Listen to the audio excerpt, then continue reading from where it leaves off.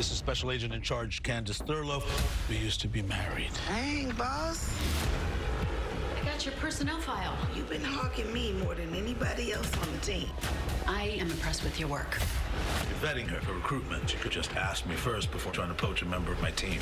This could be a huge opportunity. Tread carefully. Oh, I know. I haven't said yet. Suits in DC to see you shine.